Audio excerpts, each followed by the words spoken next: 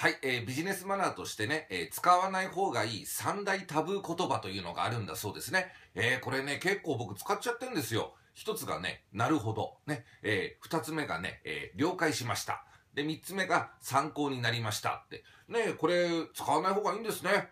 なるほど。参考になりましたね。うん、使わない方がいいか。了解しました。あ、いけねえ。柔軟体操。どういうことかって？また使ってるってね。ねずっちです。えー今日はまずロケに行ってきます。